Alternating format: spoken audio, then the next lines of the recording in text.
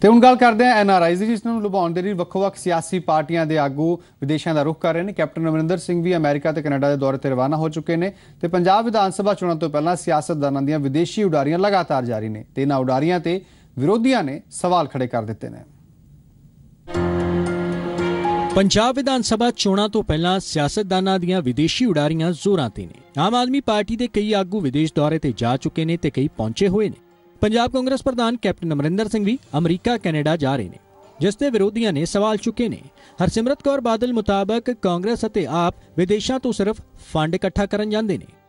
ਆਦਮੀ party ਤੇ ਕਾਂਗਰਸ ਵਿਦੇਸ਼ੀ ਜਾ ਰਹੇ ਕੱਲੇ ਡਾਲਰ ਇਕੱਠੇ ਕਰਨ ਵਾਸਤੇ, ਇਹਨਾਂ ਵਾਸਤੇ ਤਾਂ ਇਲੈਕਸ਼ਨ ਇੱਕ ਬਾਨਾ ਹੁੰਦਾ ਹੈ ਕਿ ਲੋਕਾਂ ਦੇ ਜੇਬਾਂ ਚੋਂ ਪੈਸੇ ਕੱਟੋ ਕਾਂਗਰਸ ਦੀ ਬੀ ਟੀਮ ਜਿਹੜੀ ਚਿੱਟੀ ਟੋਪੀ ਹੈ ਉਹਨਾਂ ਨੇ ਤਾਂ ਨਵਾਂ ਕੰਮ ਸ਼ੁਰੂ ਕੀਤਾ ਕਿ ਲੋਕਾਂ ਨੂੰ ਰੋਟੀ ਖਿਲਾ ਕੇ ਪੈਸੇ ਧਰਾ ਰਹੇ ਨੇ 10-10 ਹਜ਼ਾਰ ਰੁਪਏ। ਤੇ ਇਹ ਵਿਦੇਸ਼ਾਂ ਦੇ ਗੇੜੇ 'ਚ ਰਹਿੰਦੇ ਨੇ, ਕਾਂਗਰਸ ਪਾਰਟੀ ਉਹ ਉੱਥੇ ਰਹਿੰਦੀ ਹੈ। ਇਹ ਕੱਲੇ ਡਾਲਰ ਇਕੱਠੇ ਕਰੇ ਇਲੈਕਸ਼ਨ ਤਾਂ ਇਹਨਾਂ ਨੂੰ ਪਤਾ ਸੀ ਹਾਰਨਾ ਹੈ। ਵਿਰੋਧੀ ਭਾਵੇਂ ਜੋ ਵੀ ਕਹਿਣ, ਪਰ ਕਾਂਗਰਸ ਅਤੇ ਆਪ ਵਿਦੇਸ਼ ਜਾਣ ਦਾ ਏਜੰਡਾ ਸਾਫ਼ ਕਰ ਰਹੇ ਨੇ। ਔਰ ਉਹਨਾਂ ਨੂੰ ਮਿਲ ਕੇ ਉਹਨਾਂ ਨਾਲ ਗੱਲ ਕਰਾਂਗੇ ਕਿ ਤੁਸੀਂ ਆਮ ਆਦਮੀ ਦਾ ਪੱਲਾ ਛੱਡੋ ਔਰ ਲੱਗੋ ਸਾਡੇ ਨਾਲ। ਵੀ ਜਿਹੜਾ ਬੰਦਾ ਵੀ ਜਾਂਦਾ, ਉਹ ਪੈਸੇ ਵਾਸਤੇ ਜਾਂਦਾ। ਇਹ ਹੋ ਸਕਦਾ ਇਹਦੇ 'ਚ ਵੀ ਕੋਈ ਸੱਚਾਈ ਹੋਵੇ। ਅਸੀਂ, ਸਾਨੂੰ ਉਹ ਸੱਦਦੇ ਆ ਬਾਰ-ਬਾਰ, ਬਾਹਰ ਵਾਲੇ ਵੀਰ। ਕਿਉਂਕਿ ਉਹ ਪੰਜਾਬ ਬਾਰੇ ਬਹੁਤ ਚਿੰਤਤ ਹੈ। ਉਹ ਚਾਹੁੰਦੇ ਆ ਕਿ ਜਿਸ ਤਰ੍ਹਾਂ ਦਾ ਸਿਸਟਮ ਬਾਹਰ ਦੇ ਮੁਲਕਾਂ ਦੇ ਵਿੱਚ ਹੈ, ਉਹੋ ਜਿਹਾ ਸਿਸਟਮ ਪੰਜਾਬ 'ਚ ਹੋਣਾ ਚਾਹੀਦਾ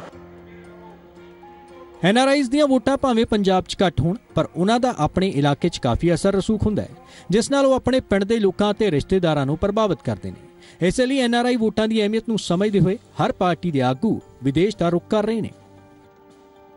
ਬਠਿੰਡਾ ਤੋਂ ਗੋਬਿੰਦ ਸੈਣੀ, ਜਲੰਧਰ ਤੋਂ ਰਜੀਵ ਬਦਵਾ ਦੇ ਨਾਲ ਪੰਕਜ ਕਪਾਹੀ, ਜ਼ੀ ਮੀਡੀਆ, ਦਿੱਲੀ।